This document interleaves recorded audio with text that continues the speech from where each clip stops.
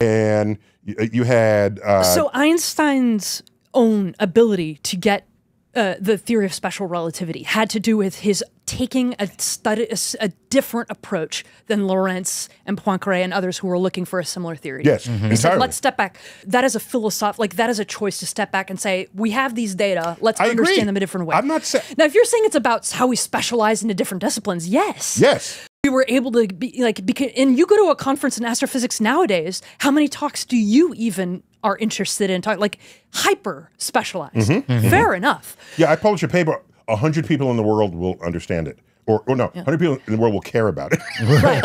For me it's like maybe 6. is a mysterious source of gravity in the universe.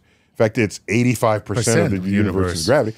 And we don't know what that is either. But if we assume it's a thing, because we measure it, Right. and then we can calculate with it, and with some assumptions about the behavior of matter, we get a sort of a kind of our own standard model of how the universe works.